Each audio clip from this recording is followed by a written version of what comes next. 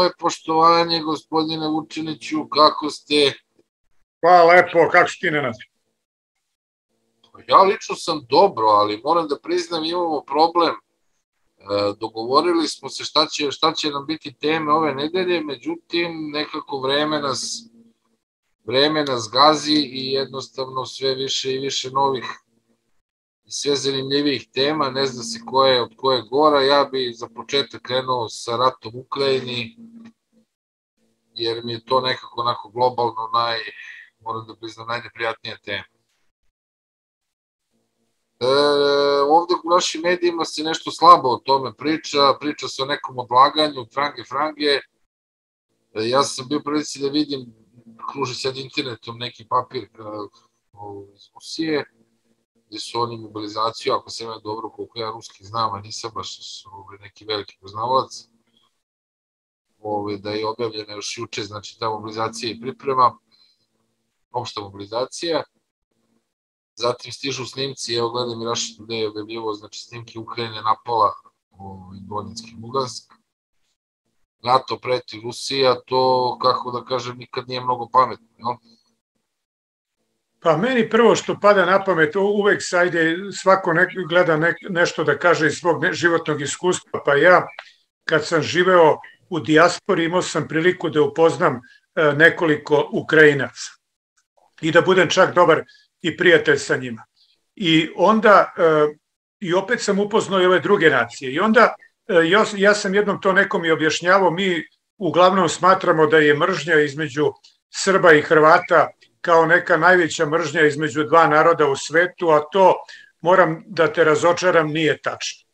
I iz mog iskustva, na primjer, najveću mržnju koju sam ja vidio, to je mržnja muslimana prema e, jevrejima, naročito onih tamo što žive oko Izraela. Druga izuzetna mržnja je između e, Pakistanaca i Indusa, I treća koju sam ja tamo video, to je ta mržnja između, ne kažem svih, ali između određenog broja ovaj Ukrajinaca i Rusa s druge strane. I baš sam imao jednog Ukrajinca ovaj koga sam dobro poznavao, bio mi automehanik.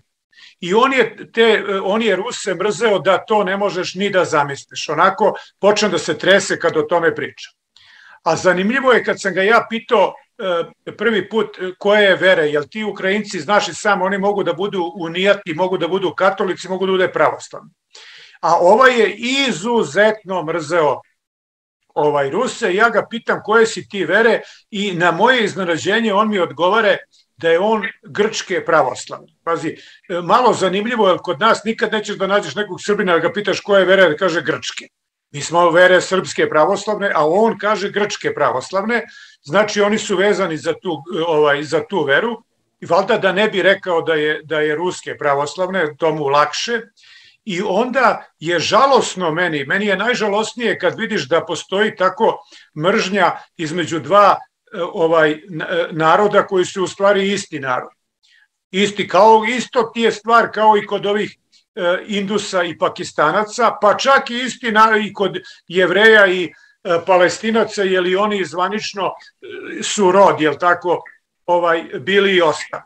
I onda je meni, nama, ovaj, ne znam, meni je žao kao nama koji pripadamo e, ipak tim, ajde da upotrebim izraz Slovenima, pravoslavnim, da e, se mi tako između sebe ovaj bijemo i koljemo, a imamo ove koji bi nas tako lako uništili E, i to kroz istoriju gledamo i ovi Englezi tamo i, i Nemci i tako dalje i sad mesto da se mi e, Sloveni koji, koji nas ima mnogo e, ovaj nekako približimo i da imamo neke bolje veze prijateljske, mi sad među sobom počinjemo da ratujemo i to naravno nahuškani od ovih sa strane. I meni ovako sa strane gledano znači da izgleda da ovi Amerikanci huškaju ove ovaj e, Ukrajince, da oni sada uđu u neki sukob sa Rusima, a ovi Rusi opet e, kao jedna vele sila ne mogu da dozvole sebi da ih neko zeza, nego moraju da reaguju i meni je žao ovaj uopšte što će da dođe do tog sukoba. Bolje bi bilo da, da, da, da se nekako dogovore, ali izgleda da ne mogu. Izgleda da ne mogu. E sada, ovaj, e, ja sam čitao neke analize, ako smo sad, ako treba nekad u životu i mi da budemo malo sebični, mi smo nekako najnesebičniji narod koji stalno gleda šta se drugima dešava, dok ovi drugi gledaju sebe uvek. Mi nismo takvi, možda smo zato i da izmeniš najebali. Ali kad gledaš ovu e, tamošnju situaciju, oni kažu koje posledice može po nas to da dovede. Naprimjer, da sad krene taj rat, što može da se desi i da, bude, rat, da, da oni ratuju jedno mesec dana, pa da se to smiri nekim mirom. Šta, koje su posledice po nas? Po nas mogu da budu posledice, kako drugi kažu, znači nisam to smislio, da ćemo morati da se opredelimo na koju ćemo stranu. I to će da nas teraju ovi iz Evrope, da se opredelimo i da stanemo uz Ukrajinu, a da e, i mi damo neke sankcije ili skritikujemo Rusiju. Da li ćemo mi to da prihvatimo ili ne, to ne znam, ali kako dato smo ovaj Belorusiji onako ladno što bi se reklo ovaj te sankcije, ali naravno da to ovaj slabo se objavljivalo i znalo. Ja mislim da možemo da, da, da ovaj ratni sukob može i nama preko leđa ovaj da, da se slomije ako moramo da podržimo. I sad ja pravo da ti kažem ja ne znam šta će ovi da odluče ali e, u ovom slučaju ako bi e, Vučić odlučio da da neke sankcije Rusiji to bi po meni koliko ja pratim ne znam koliko ti pratiš raspoloženje srpskog naroda ovaj to ne bi prošlo Oni su ovo Belorusiji napravili onako na mufte da se ne zna, pa nije bilo zvanično, pa nije bilo objavljeno, pa kao ajde izvini, ali morali smo i tako dalje. Pa je to nekako prošlo. Ali ne verujem da će to moći da prođe ovaj e, sa Rusima. Mene e, stvarno pomalo iznenađuje, voleo bi da mi kažeš ovaj tvoj komentar, e, mene jako iznenađuje ovaj hrvatski predsednik Milanović u zadnjih jedno mesec dana sa svojim izjavama, prvo što se zbližio sa Dodikom i ovaj e, podržava ga u potpunosti, onda e, da je da je on izjavio da ni jedan hrvatski vojnik ovaj neće da ide u rat na strani Ukrajine i treće pazi od juče rekao je neverovatnu stvar da je dosta sa širenjem NATO-a. Zamisli, on je rekao šta je mnogo, mnogo je, dosta se proširio taj NATO, ne treba više da se proširuje. I onda ako ga slušaš po tim izjavama, sad ja ga ne pratim mnogo, tu po neku njegovu izjavu pokupim, vidim da su se naši susjedi, izgleda ako slušaš predsednika, po priličnosti čvrsti u tome da ako dođe do, do neke frke, da neće oni tako slepo da krenu na Ruse i oni shvataju da im to ne treba. Da im to ne treba i e, ovaj e, s druge strane može tu da dođe do ozbiljnih e, podela, ja ne verujem ni, nikako ni da će Orban da ovaj prihvati da krene, čak ne mislim da je neko raspoloženje ni u Evropi, pre svega u Nemačkoj, da se podržava ta Ukrajina. Tako da taj sukob po meni, ako dođe do njega, volao bi da ne dođe, može da napravi ozbiljne podele u e, Evropi i razdor između Evrope i Amerike, ali opet sad šta će tu da se desi, jer ima i, e, skoro je bila objavljena anketa ovaj u Nemačkoj da 74% stanovnika, znači to je ogroman ovaj ispitanika, smatra da treba da se ovaj da se prave bolji odnosi sa Rusijom. I sada mislim da će ovaj rat biti u stvari jedno, uh, jedan veliki test uh, tog savezništva evropsko-američkog. Uh, kako će to da prođe? Nažalost, i mi smo tu u paketu. Eto, ja tako gledam ovaj na to, jel ti misliš da ovaj da sam u pravu da može tu da dođe do nekog pucanja ili će oni da budu zajedno? U ovom selu kažu neće ni svinja u svatove, ali mora ovaj, to je apropo toga vidi, da se mi ne lažemo, znaš, ko je bre Hrvatska, nemoj se zezati bre, oni će se, ne znam, ovaj, usprotive NATO, oni će, kažu Amerikancima, ne znam, sudbonosno ne i tako dalje. To znaš kako, kako znaš da političar laže? Ga vidiš da, da otvara usta. E, što se tiče napada na Rusiju, cijela Evropska unija... Ne, ne, ja sam, izvini, molim te, samo da dodam ovde. E, jedan, e, pa ajde to iskomentariši. Jedan hrvatski zastupnik evropski je rekao, isto kao i ovaj, da Hrvatska uopšte ne namerava da nijednog svoj vojnika ovaj pošalje ovaj na Rusiju i on je rekao da je 17 članova njegove porodice poginulo ovaj pred Stalingradom. Ovde. I možda su oni imali to iskustvo da sa Rusima nije zezati, e, da nije samo e, neka dnevna politika, nemoj, jeste ovaj Hrvatska ja, ja, mala i neznačajna zemlja, ali opet ovaj znaš ipak glas iz same Evropske unije od neke države da se da, da, da kaže nešto protiv e, toga je nije toliko beznačaj. Ajde sad. Dobro, Hrvatska je značajna samo ovde. Samo i ovde ove, oni koji rade za njene interese smatraju za neku silu i nešto bitno. Znači, u svim normalnim odnosima to je statistička greška. Ovaj, nema tu, ja bi to ovako video, slažemo se mi donekle, ali opet kažem, jednostavno u drugom svetskom ratu cela evropska zajednica je ratovala Rusiji.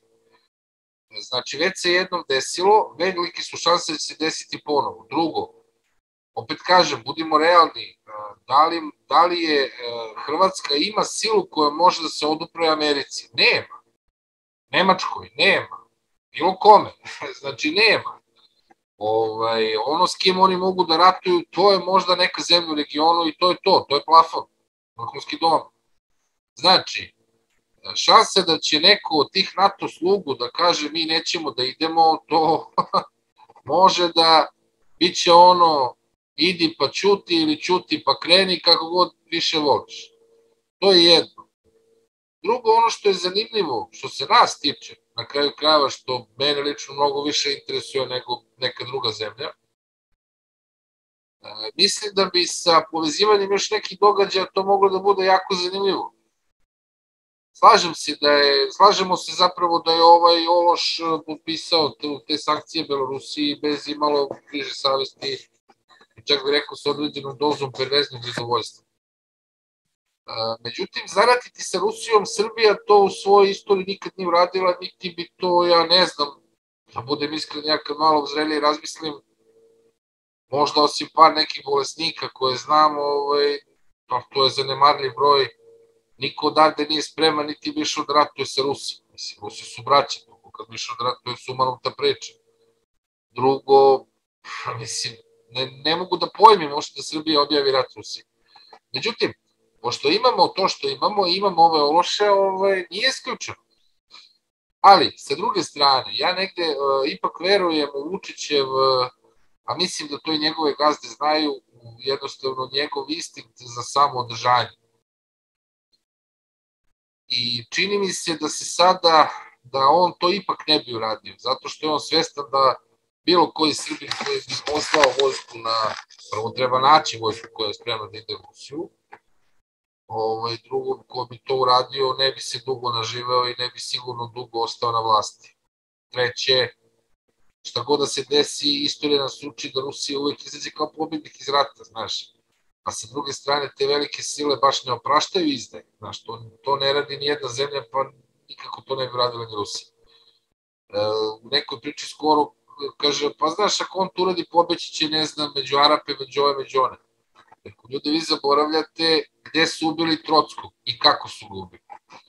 Znači, to je prosto, kako da kažem, a da ne pričam jednog e, veoma poznatog, ali tako i značajnog e, lika toga vremena u Sovjetskom savezu. Sad zamisli kako bi roknuli nekog slinavog, razumeš, iz neke tamo zemlje, našli bi ga gde god da se, da se koju god rupu da se smesti, to je velika i ozbiljna sila i s njima se ne zeza na taj način, oni će te roknu pa će te roknu. Međutim, koji igrač bi to odradio bez problema? To bi uradio naš e, dobri e, i čestiti ovaj, drugi kandidat za predsjednika, to je gospodin Ponoš. Ja mislim da bi on lagano to uradio sa velikim, čak priveznim zadovoljstvom bi potpisao i ne bi bilo problema. I onda bi ja tu dodao još jednu stvar, to je imamo danas Jer danas ili juče objavljena ovaj, situacija gde se ubio naš ambasador u, u Portugalu, inače gospodin Oliver Antić, jedan od osnivača SNS-a, recimo da je glavni, nazovimo ga tako, glavni pravnik ove, te, te sekte i kako se zove blizak intimni prijatelj ovaj predsednika, bivšeg predsednika i sadašnjeg predsednika. Što će reći jedan od, onako da kažemo, značajnih ljudi u toj stranci. E sad, zli jezici kažu da je pomalo mutno to da se on baš samo ubio i da se to baš tako desilo, nego da iza toga stoje još neke ovaj, zakulisne radnje. Spominje se, neko spominje neke igranke sa nedozvoljenim substancama, a neko spominje ovaj, možda jedan vid pritiska, pritiska na Aleksandra Vučića. I meni je to nekako da budem iskren pomalo i logično, jer otkriće se šta je, ali sigurno tek tako samoubistvo nije. Će da se odrazi u vremenima koje dolaze to sigurno ne, ne beznačajno. Tako da bi ja recimo to, na primjer, ovaj, možda kao neki vid upozorenja, kao neki vid upozorenja gazda vidi ovo, ili ćeš nešto da uradiš ili te neće biti, možda. Meni, meni su te recimo priče onako relativno bliske. Tako da vidjet ćemo šta će biti. U svakom slučaju dobro biti neće, ne želimo da se sukobi razviju, zaista mislim taj narod gine tamo, to su, to su desetine i desetine hiljada ubijenih i dece ovo, u zadnjih ovo koliko 7-8 godina, koliko se 8 godina, koliko se ratuje tim besmislenim sukobima, na kraju krajeva nijedan rat nije pretrano, nema, nema pretrano smisla. Znači, ono što si rekao, e, Greko-katolikos, to je zanimljivo, u hrišćanstvu tako postoje e, dve struje, to su zvanične, dve najveće, no? E, to su Rimokatolikos i Greko-katolikos. Sad, dobri otac papa, tako koji je ovde ovaj, poglavar nekim, da kažemo, episkopima sa našeg područja, ovaj, on za nas kaže, zvanično kaže se greko-katolikus. Međutim, e, Grko-katolici su nešto ono što pripadaju ovi Ukrajinci, to su zapravo, mi to kažemo, unijeti, tako, to su... Nego moje pitanje, da li imate kakve informacije iz Kanade, šta se, šta se priča, šta se radi preko bare? Ja nemam nikakvih informacija više nego što imaš ti, e, samo e, što je tu zanimljivost da i u jednom momentu taj, e, taj problem postao, da kažem, internacionalan, a ne samo kanadski, jer je zaustavljena ta ovaj granični prelaz, da kažemo, najprometniji između e, Sjednjih američkih država i Kanade. I to je znači sad otišlo jedan korak dalje i ozbiljnije. Međutim, ja kad vidim, ako se sećaš pre jedno deseta godina, ovaj, ili kad je to bilo, kad su neki crnci počeli se bune i da pale nešto u Los Angelesu ili ne znam gde, onda je došla nacionalna garda, što bi se reklo, tenkovi i ovaj tu situaciju su smirili.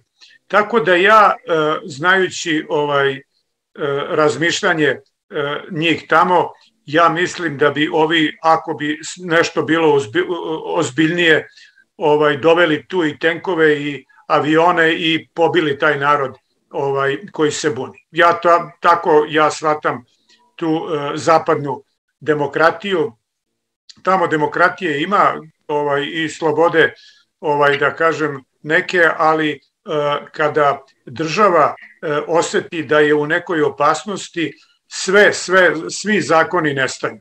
Svi zakoni nestaju, tako da, ovaj, pravo da ti kažem, to znaju dobro i ovi tamo. E, ovaj, Australija i Kanada kao zemlje Commonwealtha ovaj, i kao u stvari jedni i drugi kao sateliti američki imaju taj jedan isti sistem u kojem se zna da ovaj ako zagusti nemoj da se nadaš da postoji neka, neki advokat ili neko ko će da ti ovaj pomogne, toga tamo nema. I ja se, moram da ti kažem, i ovaj na neki način divim tim ljudima koji su krenuli ovaj u taj protest, jer oni dobro znaju šta može da im se desi i to je jedna hrabrost i svaka njima ovaj čast i e, mi se uvek, e, što je najgore, često duvamo e, time da smo mi Srbi najhrabriji narod na svetu i da od nas hrabrijih nema,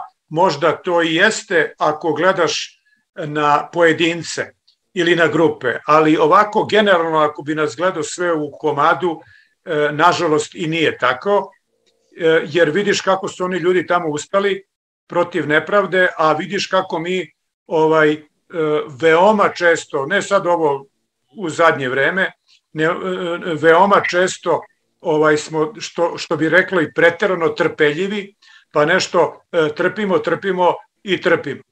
Ovaj međutim e, ovaj opet i ovi ovdašnji znaju da i mi možemo da budemo ovaj jako jako nezgodni kad ustanemo. Šumadio zemlja ustanika, je tako? Tako da E, kažem ti, divim se tim ljudima koji su krenuli. A šta da ti kažem, ja ovaj svako poštovanje prema njima koji su krenuli i okupirali e, e, tu Otavu i koji su se pobunili protiv nepravde i ko što vidiš, ovi se brutalno tako ovaj uništavaju taj te, te proteste i u Briselu i tako rade i u Francuskoj i onda na kraju ćemo da dođemo do toga da su svi oni gomilali toliku vojsku i gomilali toliko naoružanje, e, ne samo da bi se tukli sa Rusima i, ili sa Kinezima, nego da premlate i ove svoje ako se bune protiv poredka. Tako da ne bi se ja ovaj ni malo iznenadio da za neko vreme vidimo neko neki masakr ili neko krvo, krvoproliće tamo na zapadu ako ovi ovaj protestanti preteraju. Ovde u Kanadi i neće. Čini mi se da neće, ali opet malo po malo. Ide to sve malo na gore, na gore, na gore i jednog momenta ovaj vidjet ćemo, bazi sad se e, valjda će i ova kriza, ne znam kako ga nazovemo, ovo COVID, nazovi ga kako hoćeš, valjda će i ovo da prođe, a kad prođe to, ostaće posledice posledice posledice i ovaj biće tu još tumbanja, što bi rekli ovi Tarabići. Biće tumbanja po svetu i meni to izgleda da stiže i, i ekonomska kriza i ovaj da, da narod neće baš to tako da trpe ko što oni misle. Ono što je zanimljivo, to je da u tim kamionima, to su desetine kilometara ovaj, ne samo tu i na drugim mestima, znači zanimljivo je da gomila hrane propada. Zanimljivo je da e, skače, da jednostavno se u svetu pojavljuje, Rusi su objavili da postoji realna nestašica dizela. Sad može da bude da su, da su, da su zalihe pravljene i se sprema se rat, jel? A možda bude nešto drugo, ali ono što je opet, kaže, zanimljivo, to je da se polako, polako će početi nestašice hrane, jer jednostavno ti kamioni između ostalog prenose hranu, jednostavno u lukama počinje hrana, jer nema transporta, počinje da propada, ali tako, hrana je kvarniva roba. A znaš šta je još zanimljivije? Znaš ko ima velike zalihe hrane? Kina ima najveće, ali tako? Nisam mislio na Kinu, nisam siguran što se toga tiče, ali proizvođači, znači one velike gazde tipa Monsanto i ekipa, oni imaju hranu koja ne truli tako lako, znaš. Tako da, kako povežemo rat u, u Ukrajini, a ne zaboravi da je Ukrajina, tako, ovaj, najveća žitnica Evrope i nešto da, područje koje može samo da hrani Evropu, još šta, da ove godine neće ta ni setva ni žetva baš biti, Bog zna kako briljantna ako se bude na to, i plus na to dodamo znači velike ovaj veliko propadanje hrane u transportu jer prosto imamo zagušenje te najvažnije žile u Severnoj Americi znači vezu Kanada Kanada Amerika onda ćemo dobiti i pobune na u mestima ovde, znači koje su ovaj, u Evropi, u tim lukama i tako dalje. Vidimo, boga mi, da će to da bude vrlo zanimljivo. Tako da je preporuka za sve, počnite polako da pripremate neke zalihe, jer sad je već skoro izvesno da će da nas se približi, neću reći glad, ali recimo nestašice hrane u svakom slučaju. Pa dobro, znaš šta, ajde, baš lepo si ovo rekao da pređemo samo na kraju i na jednu drugu temu. E, ovaj, ja sam bio juče e, u Ćirilici na predavanju koje je održao profesor Škobalj i koja je bila o ekonomiji. I e, ja sam mu postavio pitanje, ovaj, a naši ovaj, tvoji e, gledaoci, ja se nadam da će moći da gledaju to za par dana kad staviš na YouTube e, to jako zanimljivo predavanje i profesor je u jednom momentu rekao e, da smo na putu ka provali. I onda kad se završilo ovaj predavanje, kad su bila pitanja, ja sam onda pitao njega, koliko se sećam otprilike, e, da li ćemo mi i da upadnemo u tu provaliju i da li nešto može da zaustavi taj naš odlazak u provaliju i onda sam usput rekao nekako mi nadošlo da li ćemo da gladujemo. Pa se vraćamo na ovo što si ti rekao. Znači ja sam baš juče postavio to pitanje da li ćemo da gladujemo. I onda je ovaj pa sada nek naš nek tvoji ovaj gledaoci da ne kažem šta je sve pričano o tome, ali samo da kažem da me iznenadio malo odgovor e, profesora koji je rekao da smo mi ipak poljoprivredna e, zemlja i da se on baš ovaj ne plaši to, tog najgoreg da ćemo da umiremo od gladi, međutim on smatra da smo mi u takvoj ekonomskoj situaciji da možemo državu da izgubimo. I da, da nas i ne bude kao države i da budemo kao kurdi narod koji će živeti bez države. To je rekao, nemoj da ovaj mene tu napadaš, to je rekao profesor Škobalj. Znači, ovaj nije samo ovaj zbog ove ekonomske situacije u kojoj jesmo ili svetske situacije, ne samo što nama Srbima, kako kaže profesor, preti i kako ti predviđaš i mnogi drugi, ovaj, ovo što si ti rekao, nisi ti prvi ni poslednji koji je to rekao, kad slušaš mnoge e, profesore ovaj, e, ozbiljno ljudi govore o tome čak mnogi preporučuju ljudima i da idu na selo, da počnu da, da imaju neke svoje okućnice, e, da se u teškim vremenima snađu. Ja ne znam, ne bi išao tako daleko e, da smatram da će ta katastrofa da dođe. Međutim, profesor Škobalj je u jednočasovnom predavanju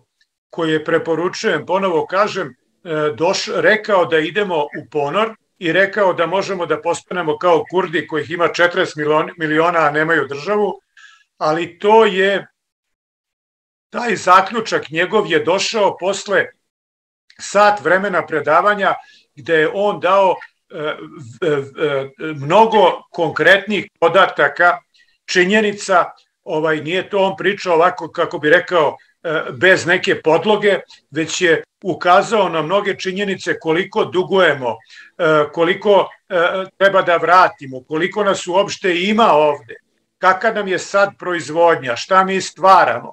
O, I kad to sve sabereš i oduzmeš, onda po njemu i po mnogim našim ovim ekonomistima, evo ja ovde e, ponekad na ovim YouTube kanalima gledam ovaj nastupe i e, sve su oni profesori, ja mislim, e, e, na ekonomskom fakultetu bili ili su sad i Šoškić i Domazet i Dragaš i E, e, Mađovski, ne mogu sad svih da ih se setim. I sad kad njih slušaš, ovaj, još je meni tu ovaj e, od juče profesor Škobalj bio nekako najjasniji i najbolje je to rekao, iako i oni svi isto ovaj imaju da kažu, nego na različiti način kažu. I onda kad ti reče, evo povuče me s tim da kažeš da, da trebamo i zalike hrane da čuvamo i da se pazimo. E, ako slušaš ove profesore, onda ovaj pravo da ti kažem, e, ako veruješ to što oni pričaju, ne bi, ne bi lako zaspao uveče, ovaj, je, je stvarno ovaj, to što pričaju oni, kako bi rekao, zastrašujući. Zastrašujuće. I ja onda ovaj sam sebe ubeđujem da ljudi preteruju. Da nije to tako, nego eto oni malo preteruju, ovaj neće to tako da bude, valjda neće. Valjda neće. Međutim po svima njima e, po svima njima mi možemo čak je ovaj e, profesor Škobalj i rekao šta je nama rešenje. Znači ne samo da sad čovek govori šta je sve naopako, a mnoge su stvari naopake, jako mnogo stvari je naopako i on e, smatra da su svi ovi podaci koji mi dobijamo e, statistički prevara i koliko ima nezaposlenih i kolika nam je prosečna plata i koliki nam je rast i koliki nam je dug, sve je to po njemu ovaj svi podaci o tome su lažni. Lažni i netačni. I situacija je mnogo gora i katastrofalnija. Međutim, on lično ima to sad svoje gledanje ovaj da bi trebali da se po njemu da nam je jedini način da se oslonimo na Rusku federaciju, da s njima uđemo u neke e, bliže ekonomske i političke odnose, jer on smatra da su Rusi, ne znam koliko je to tačno, uspeli ovaj da naprave neku relativno stabilnu ekonomiju i da im je sad procenat e, prihoda koji imaju od ruda i gasa e, manji nego što je bio ranije, da su razvili navodno i poljoprivredu, ja to ne znam da li je tačno, i da čak izvoze hranu i ovaj da je nama e, spas u nekoj ekonomiji koja je mnogo socijalnija, da tako kažem, nego ova sad što imamo, Ovo je što imamo jedan brutalni, brutalni kapitalizam kao iz najgorih vremena. Oni, naš ono što su nas učili kako su deca gurale ovaj kolica sa ugljem u Engleskoj kad je krenuo kapitalizam, sad ti to dođe na isto. I opet je profesor govorio o svim tim poremećajima radne snage, naročito koje imamo na tržištu, da nama dolaze ovde, skoro je bila vez da nam dolazi hiljadu radnika iz Indije E, ovaj, imamo vesti da ovde imamo mnogo radnika iz Kine iz Turske koje rade, a naši ljudi odlaze u Evropu. I onda isto e, profesor je rekao da on smatra da bi realni kurs sada bio 200 dinara za evro, ne 117, i da nas to održavanje tog veštačkog ovaj e, kursa u stvari uništava. I samo ajde da pa da, da ti ovo da ti ako možeš kažeš nek, tu komentar, on je lepo rekao, kaže, ovaj, nama je omča oko vrata zategnuta, samo sad fali da neko šutne onu ovaj stolicu i da nas obesi, a omča je tu. Eto, to je, izvinjavam se što se ekonomije tiče. Znači, dramatično je. Ako slušaš, profesore... Ako nastaviš, ti će da prepričaš ceo... Ovaj, ceo... Ne, ne, ne, ne, evo, evo nije, nije daleko od toga. Pa ne, znaš šta, ovaj, sve je to istina, nema tu, nema priče, jedino ta priča o Rusiji, znaš te problem ovde? Mi ovde imamo, kod nas se ljudi dele na ove koji vole da idu te anglofile i rusofile, znaš.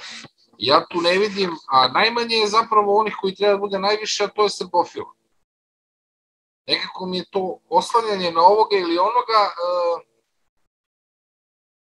što se mi ne bi malo oslanjali na svoje snage, znaš, to je pare koje se dele šakom i kapom nekim preduzećima tamo i e, nekim robovlasnicima koji ovde ovaj, gaje neke robove, ne bi davali našim seljaku da organizuju poljoprivredu, što ne bi davali te pare da razvijemo malu privredu, na kraju krajeva od naših sestava se puni budžet i od naših sestava jednostavno država može da napravi. Pa ne, Nenade, ajde da ti ja pitam e, prosto pitanje. E, ovu vodu koju mi imamo na mnogo mesta. Ako mi ne možemo da napravimo nuklearnu e, elektranu, pa, nego moraju da naprave Rusi, ajde razumem.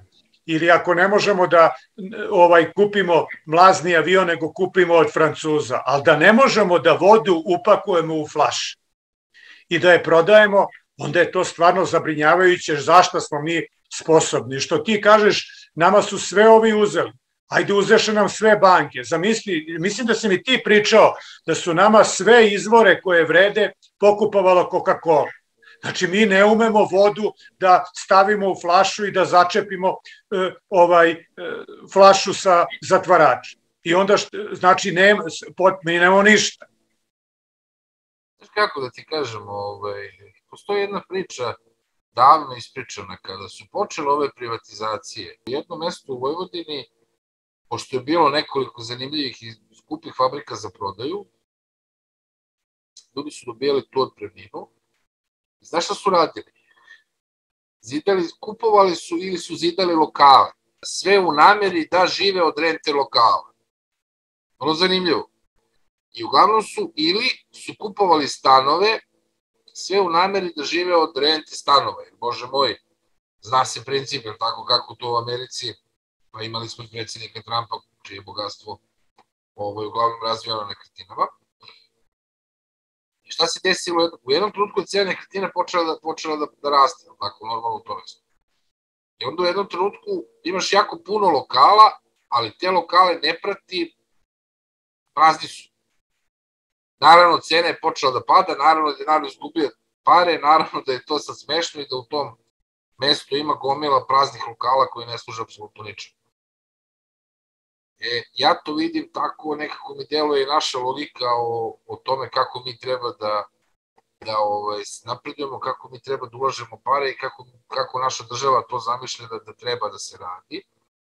Jednostavno ne ulaže se u proizvodnju, ne ulaže se u nauku i obrazovanje, a to su sredstva koje su u prvom trenutku se čini bačena, Međutim, protokom vremena zapravo obrazovanje je to koje uzdiže jednu naciju.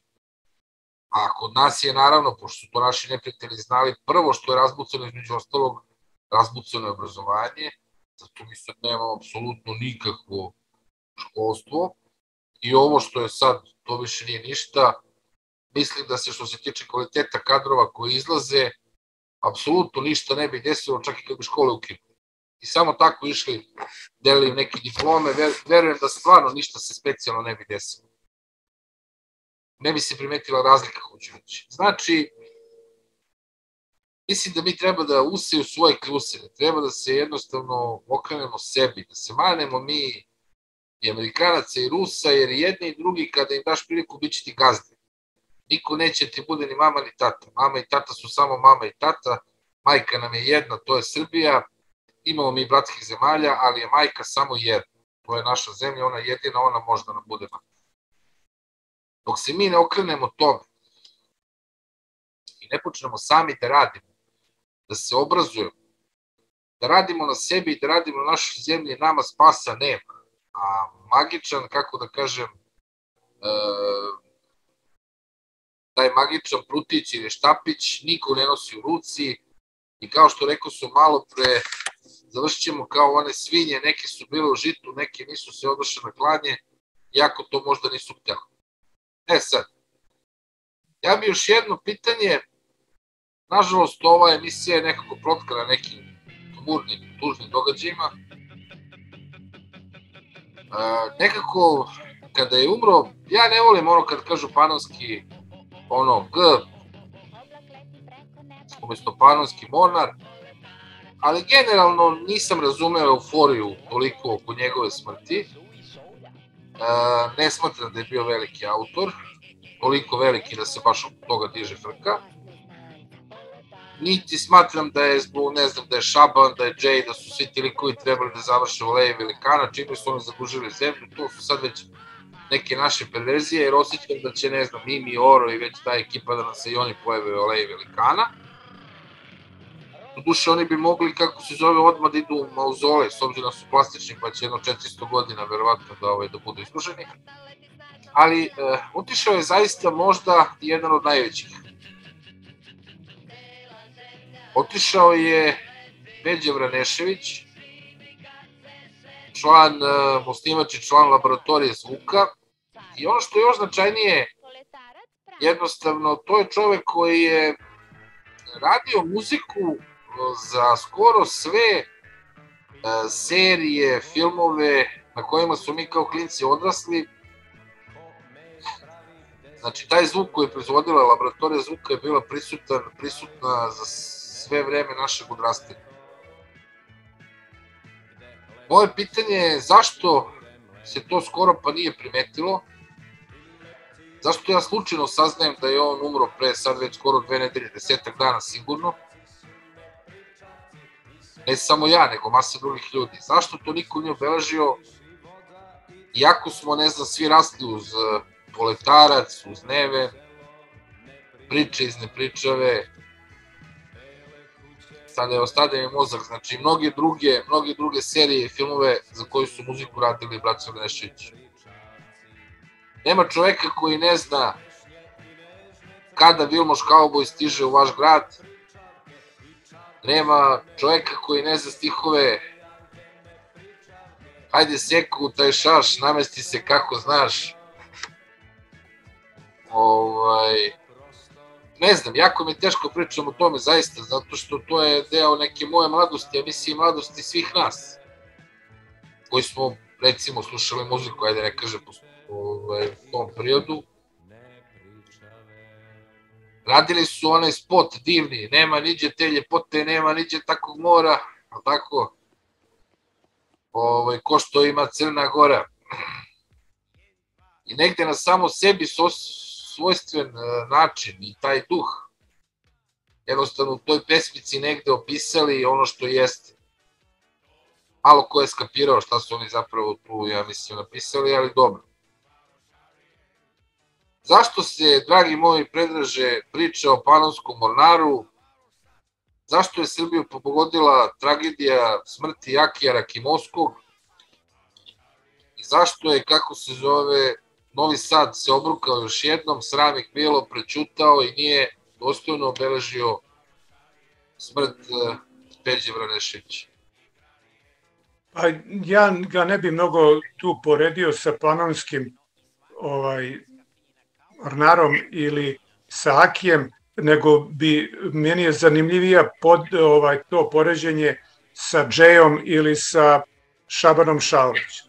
I onda E, pomisliš kako je ovaj e, neko koji je bio stvarni umetnik, kompozitor, ovaj što ti kažeš nije samo da je stvar e, pisao neku popularnu muziku, nego je i nešto ozbiljnije za serije i za filmove. Kako je on tako ovaj što ti kažeš neobeleženo da kažem ovaj njegova smrt ovde ovaj prošla, a eto, znaš Džeja i e, Šabana kako je kod njih izgledalo. I to je meni samo jedna ovaj e, jedna potvrda e, ono što ja mislim i što je žalosno ovaj činjenica što bi rekli ovde u Beogradu e, kratko da smo pukli. E, pukli smo totalno pa smo nažalost ovaj pukli i u segmentu kulture. Pukli smo na mnogim stranama, ali što se tiče same kulture, tu smo tek pukli totalno, e, jer e, mislim da je razlog ova napredna stranka i njenih deset godina vladanja, zato što su tu na vlast došli ovaj najprimitivniji ljudi, apsolutno najprimitivniji, to se vidi po svemu, to se vidi po diskusijama u Skupštini, po e, nastupima na televiziji i što je najzanimljivije, tu se vide da oni imaju selekciju, da one najprimitivnije ovaj, e, e, guraju napred, a oni koji se pokažu da nisu toliko primitivni, oni isklanjaju. I onda u toj situaciji ti imaš jedan opšti primitivizam i ovaj koji se pokazuje da se prave vrednosti ne cene, a da se one ovaj najgore i najprimitivnije vrednosti ovaj slave, kako bi rekao.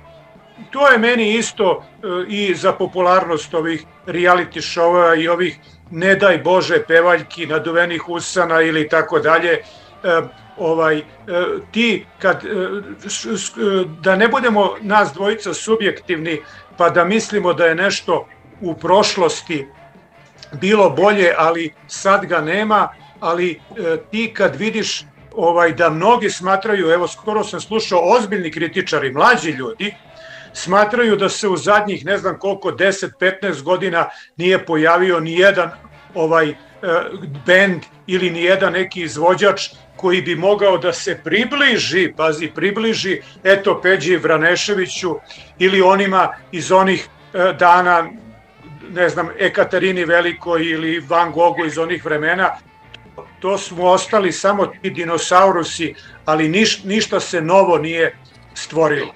I ovaj zašto je to ne znam, ali stvarno smo postali jedna, ovaj, izvini, ne znam kako, e, baš sam imao, ovaj, jedna mi prijateljica rekla, ovaj, pa koristim njen izraz, kako je ovaj vračar na kome ja živim, na primjer, postao jedna seljana, kako bi rekao.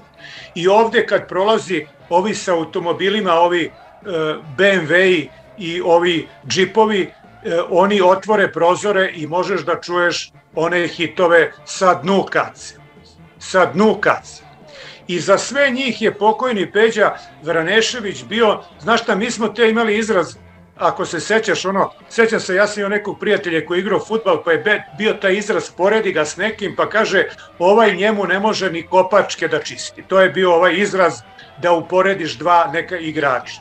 Pa ovi koji su danas, ovi koji su danas ne mogu da se porede, sramotno je biti porediti sa nekom takvom veličinom kao što je Peđa Vranešević, ali nažalost tu smo gde smo tu smo gde smo, u ovom smo blatu u kome jesmo.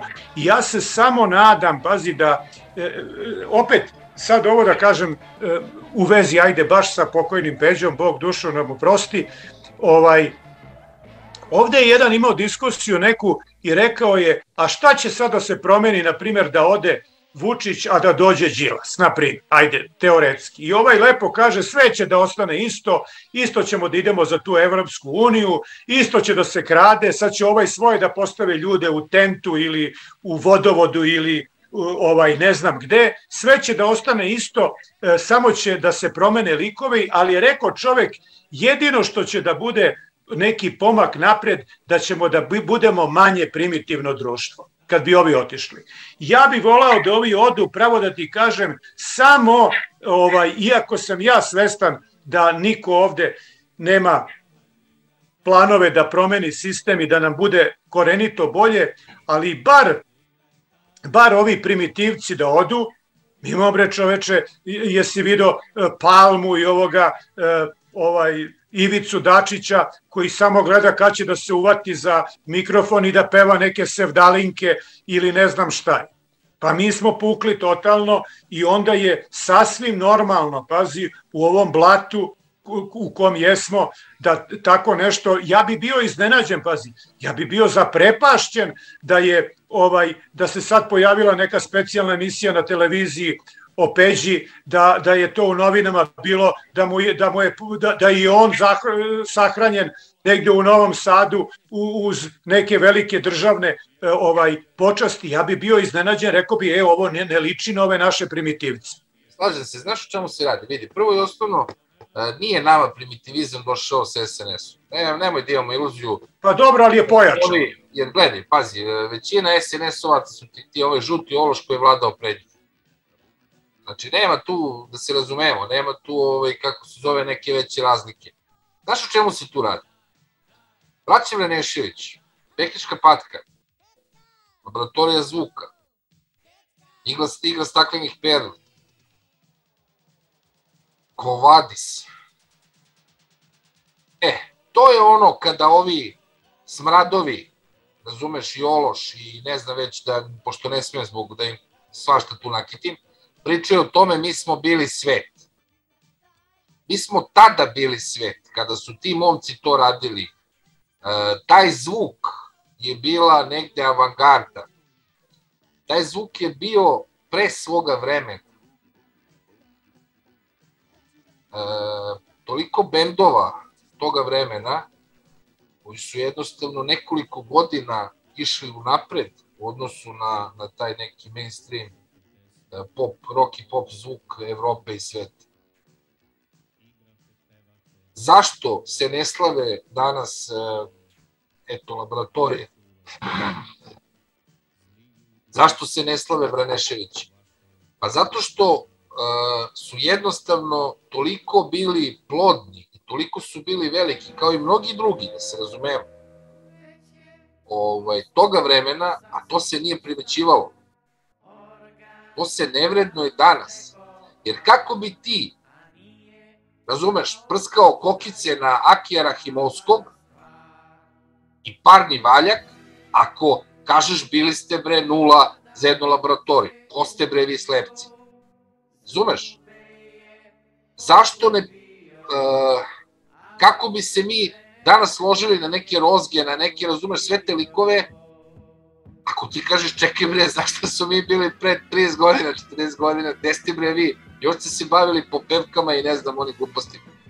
Pevali ste ono, one klape i jajla ligu. Sve se zezamo. Zumeš? Znači, e, to je problem. A to traje već ulazak 30 godina, gde se mi stalno stidimo, gde mi stalno, ne 30, traje od kako onaj crni ološ došao na vlast, 903. Znači, da se mi stalno stidimo sebe, da se mi stalno stidimo onoga što jesmo i da se stidimo stalno naših autora, a stalno su ovi drugi bolji. Znaš ono kako, imaš onu priču, ne znam, o Krleži Andriću, kao, sad imaš ubeđivlja, Krleže je bio, ne znam šta, Andrić nije imao pojma. Pa nema se zezati. Da ne spomenjamo da mi stalno naše autore, osim ovih modernih koji ne vrede objektivno ništa, ali koji su deo te druge srbijaštine, treće srbijaštine i šta god, kako se zove da mi ovaj, stalno ni podaštavamo naše autore. Mislim, jednostavno to je problem. Mene to muči. Znaš, e, zašto je Balašević tako velik? Moš misliti, moš misliti, jedan ološ koji je radio sve za pare. Šta posebno, objektivno, od ne znam, do 90. godina u redu, posle 90. godina to ide politička komercijala, kad nije mogo nigde da svira, onda je bilo Deste Varošani, pa po 15 koncerata u Beogradu, pa Beograd je svet i tako dalje, e kad je mogo i kad su se otvorili, onda tako mlada već Slovenki. A pošto smo mi na nivou zlatnih ribica to zaboravljamo sve za 10 sekunda, onda zaboravimo da je on, razumeš kako se zove kad, kad ovi nisu hteli ovaj, da ga prime i kad je prodavao po 6-7 karata u Cakarijevom domu, razumeš, onda se žali ovde u Beogradu. E onda kad je počeo tamo da prodaje, onda je krenula pljuvačina, ja sam, ne znam, ono, Balašević, moja ona druga polovina, ona bolja polovina su, ne znam, Mađari i Hrvati. Ma nemoj. E, tako mi Ološa slavimo, razumeš, i dižemo na nekakav pijedestal, ne znam šta je on tako velik uradio, zato što je rekao, ono, da namolujem, ne znam, na Ćirilici, razumeš, refren, pa hajde idi namoluj u Zagrebu ako možeš. Hajde, molim te, idi. Baš bi volao to da snimim. Evo, ja ću da idem da snimim kako neko piše Ćirilicom, razumeš, u Zagrebu. To isto u Zagrebu gde se pre 70-80 godina svaka druga reklama ti je bila na Ćirilici.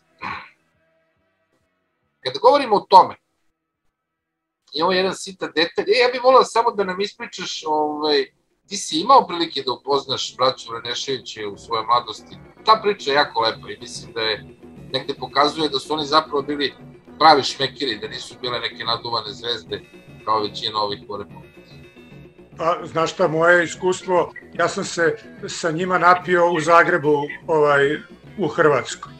I to je jasno, desilo se slučajno, slučajno da su oni imali neki koncert u Zagrebu, ja u Zagrebu bio drugom prilikom i onda smo se na ulici našli ovaj i otišli zajedno da pijemo. Eto. Da, da to ovaj skratim tako priču i ja to pamtim druženje kao jedno što bi se reklo veliko zezanje. Kako ste se našli na ulici? Taj detalj je meni najbolji. Pa tebi je, za, to sam ti prepričao, pa nisam to, aj sad da ne pričam. Našli smo se tako što smo prolazili kroz neku ulicu, oni s jedne strane ulice, a, mi, a ja, nas nekoliko s druge i ja sam ih prepoznao, jer su oni tad bili, ko što sam znaš, ovaj popularne likovi, a bili smo i malo pripiti i mi i oni, bilo već veče, i onda sam ja i sve ovaj E, glasa vikno idi seko u taj šaš njima, a on je viknuo odande namesti se ko što znaš. I onda smo se nasmejali i prešli, ja mislim, na njihovu stranu ulice i onda smo odlučili da odemo zajedno u prvu lokal da ovaj da kako bi ti rekao da zalijemo ovaj to naše ovaj prijateljstvo. Ali opet e, značajnije to što, to što je on bio dobar čovjek, to znaju valjda njegovi prijatelji i rodbina i to se brzo i zaboravljam, ali ono što mislim da je ovaj e, ubeđen sam u to za jedno 10, 15, 20 godina da će e, neki novi klinci e, i neki ovaj novi mladi ljudi da pronađu opet ove što si ti naveo, ne samo laboratoriju zvuka, nego eto, ajde igru straknih perli koji redko koji zna i ovaj da će biti tih koji će da ih pronađu, a ne verujem da će iko ikada da u budućnosti se seti neke pesme ovaj Karleuše koje ovde pred skupštinom, pazi, zamisli bruku našu, naš pad, naš, našu sramotu za, da u prestolnom Beogradu za novogodišnju ovaj noć da peva ispred skupštine Jelena Karleuša koja ovaj sa muzikom evo ja sam čovek ovako malo slab na muziku i ne umem, nije me Bog podario s time, ali tu je u mom nivou ovaj e, Jelena i to pokazuje kako smo pukli. Kako smo pukli, ali ovaj što kaže Njegoš, vrijeme je najbolje rešeto, pa i vrijeme kao rešeto će jednog dana da ova ovu, ovu džubrad e, izbaci, ipak e, kvalitet će da ostane i siguran sam da, da, da neke buduće generacije neće da zaborave ni na ovaj Peđu, ni na, eto da pomenem, ja ga stalno ovaj, vre, povezujem za tu kultnu seriju koja je po meni jedna od najboljih koja ikada napravljena na RTS-u, Poletarac. I taj Poletarac nekako vezujem za njega i sami Poletarac pokazuje e, kako je to bio spoj svega e, najboljeg pa i muzike i ostaće on, ja mislim, i za neke dalje generacije i decu da se na tome uče i vaspitavaju, a ne na Karleuši i njenim pesmama daleko bilo. Samo jedan detalj, to je da, zanimljivo, mi smo to spomenuli, čini mi se u jednoj od emisije, ali bi volio da spomenemo ponovo. Jedan detalj koji je nama nekako promakao ispod uh, radara, a to je kako zapravo, mi to često spominjemo, ali evo da to uzmemo kao dobar primer, e, kako zapravo na jedan sporedan način, e, onome ko to nije, kome, ko nije jasno, a mislim da većina ljudi nije, kako nas zapravo oblikuju da sami radimo nešto, a kasnije na osnovu toga stvaraju matricu o našem ponašanju na zapadu. Šta hoću da kažem? A to je, e, imali smo onaj, e, kad je došao onaj vaterpolista, ti si pričao o tome, e, ovaj, vaterpolo trener, je tako, zvezdu, pa su onda šatro navijači rekli, ne znam, Balija i Hrvatska i Balija, Ustaša i Balija nisu moje familije. Ovaj, valjda protiveći se tome što su doveli, doveli jednostavno trener. Sad, to je vrlo zanimljivo, zašto je to zanimljivo? Zato što ta zvezda je inače imala vrlo čudan i upitan e, odabir trenera. Znači, kad pođemo od onoga u košarci, kako zove Slovenac, Hrvat, što je bio što nas je uveo u ovu ligu, propastio domaću ligu i tako dalje, pa onda još neki, pa evo sve do, do, do ovog e, trenera Vatrpolo, Vatrpolo tima Crvene zvezde. Zanimljivo je da se niko nije pobunio. Ali, ovaj, da se niko nije pobunio ranije. A što još zanimljivije da se eto sada neko setio da se pomoli da kaže da bože moj taj čovek nema, nema broja moje krvna zrca, nije, nema, nema kvalifikacije zato što je Hrvat ili šta god. Zašto to pričamo? Ti si u jednom časopisu ovaj, stranom našao da su oni to našli kao primer upravo toga da su Srbi, uh, je tako, znači, rasisti, uh, ovaj, kako ono, mrzitelji drugih, drugih nacija, naroda i tako dalje. Kaži mi stav po tom pitanju. Pa meni, znaš, nekako mi nije jasno, e, razumeš, svaki potez ima valda neki razlog. I sada, e, kad bi ja sreo te delije, te momke koji su i razveli taj ovaj e, transparent i koji su oterali ovoga Crnogorca Hrva, e, hrvatskog porijekla nazad u Crnu Goru, e, da ih pitaš, a šta je cilj bio, šta je tu, je to sad cilj da mi njega izbacimo i da se pokažemo kao neko, znači mi sad hoćemo da kažemo da ovde treneri ne mogu da budu muslimani, ne mogu da budu Hrvati i ne mogu da budu Albanci i valjda niko osim nas ne može ovde da bude trener. Ja ne mislim da tako razmišlja prosečan i normalan Srbin, ovaj, e, nisam ja daleko od toga za to e, da, evo, znaš šta mene, na primjer, jako nervira? Ponekad, baš redke stvari me nerviraju, ali nervira me e, ponekad pustim radio ovde kad sam u kući u pozadini i pustim, na primjer, taj radio koji mi je naj, e, koji mi to negde memorisan, zove se Radio S, ja ti garantujem da tamo ima više muzike iz Hrvatske i iz Bosne nego srpske muzike. Tamo je najmanje od tri pesme, dva su Olivera Dragojevića, onog Merlina ili tako nešto. Znači, mi puštamo s jedne strane te muslimane i Hrvate da nam pevaju po ceo dan. Pazi, tu imaš neverovatnu stvar da tri uzastopce pesme idu Hrvatski. Meni je čak u redu u deset pesama, ajde pusti je neku Hrvatsku ako hoćeš. Ali tri hrvatske pesme uzastopce idu. I ja mislim da je to jedna ludost totalna. Da mi, da mi te Hrvate puštamo. S druge strane, opet, mislim da je totalna ludost da je neko što je Hrvat i što je stručnjak sad u Waterpolu da dođe tu pa pusti ga nek vodi, ajde ako može da nam nešto pomogne. On je čak i i pazi, on je građanin Crne Gore, a osvojio je zlatnu olimpijsku medalju za Jugoslaviju. Znači, ne možemo baš da ga nešto svrstavamo u tipične Hrvate. Onda, s druge strane, ti imaj na umu da je Veselin Vujović, Srbin iz Šapca, bio trener rukometne reprezentacije e, Hrvatske i bio je Medvešćaka trener e, rukometnog kluba. I u sportu je to normalno, ko što i sam znaš, gledaj ti da ovaj jednom je e, bio e, susret, ja mislim da su igrali Manchester City i Manchester United i da je neko rekao da su vlasnici tih klubova stranci, da su treneri tih klubova stranci i od 22 igrača dva Engleza su igrali. Dva Engleza. Znači strani treneri, strani vlasnici, pazi strani igrači. I sada e, ljudima koji žive na zapadu i koji su ta, navikli na to, navikli na to, znači kakve veze ima, da li je koji je, zna, važno je da znaje da igra i da možda napravi rezultat. Kad oni vide ovaj potez ovih naših delija, oni to tumače kao primitivizam krajnje vrste. I oni e, onda zaključe da smo mi e, Srbi jedan narod i potpuno primitivan i narod koji mrzi druge narode. Mi nismo takvi, to je nešto što nam se nameće. Ovaj Beograd naš je bio uvek gostoljubiv ne za Hrvate, nego uopšte za strance koji dođe. Pa i Šiptari bre u naša vremena nikad nisu imali problema pre nego što su počeli da prave sranje. Nikad. Tako Znaš i u onim vremeni. nikad nije bio, jednostavno mi nemamo taj. Zato sam i naveo te primjer, zato što je zanimljivo kako je neko naredio ovde nekoj besmislenoj grupi, kao što su navijači Vatrpolo kluba Crvena zvezda.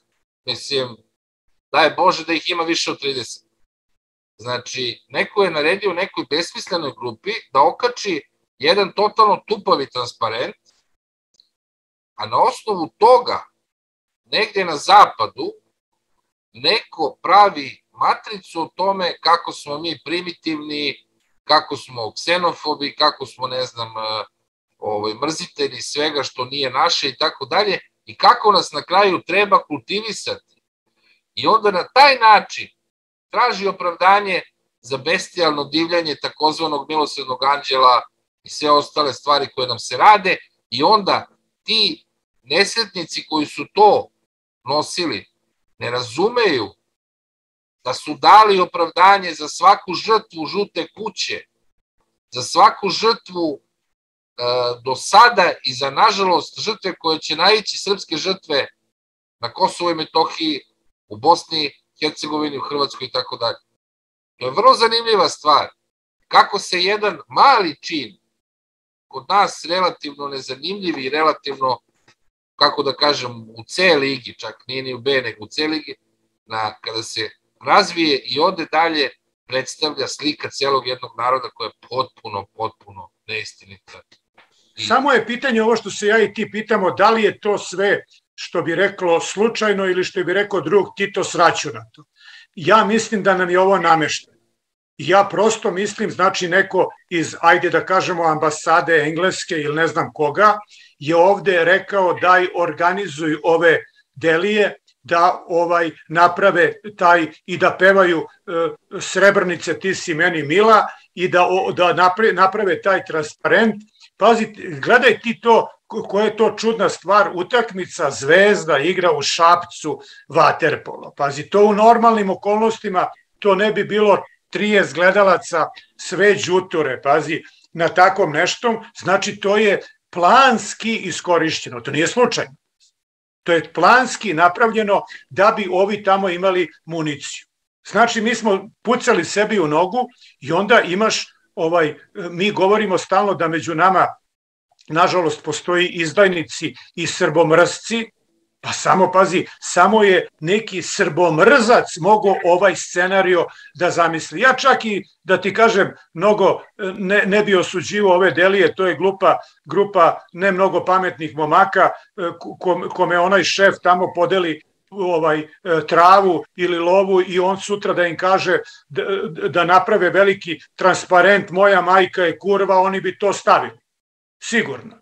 Znači, to su, oni su nažalost samo tako iskorišćeni u potpunosti, a oni glavni e, zlikovci su u stvari u pozadini da to naprave i to zarad, zarad ovih e, gazda ovaj napolju. I dobro, pa ja sam samo da kažem, možda to veze nema s tim, ali meni je vrlo zanimljivo bilo kad sam živeo u Australiji, imali smo tamo jednu novinu koja je najpopularnija i američki je vlasnik i odjednom iz čista mira svaka naslovna strana Husein kolje decu, e, e, njegov brat e, siluje po ulici, onda kurde ubijaju svaki dan, pa onda sećam se slika neke zgodne da vidiš ovaj Iračanke i kaže ovo je žena smrt koja rukovodi ovim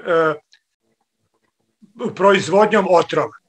I onda se ti zapitaš što su ovi navalili ko smrt na babu ovaj, na, na ovog Seina, zato što se sprema rat i ljudi treba da se pripreme da je to jedan zlikovac i da to je jedan zločinac i da se raduju ljudi kad se krene na njega.